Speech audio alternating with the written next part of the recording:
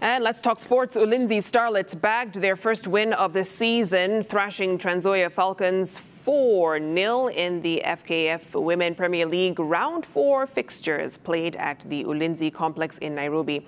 Ulinzi scored the opener at the half-hour mark with live wire eh, Siliya Rasoha finding the back of the net. Lucy Nato scored the second three minutes later for a 2-0 halftime lead.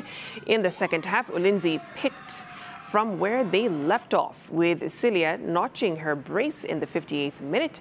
Neddy Akoth put the icing on the cake with the fourth goal two minutes into stoppage time.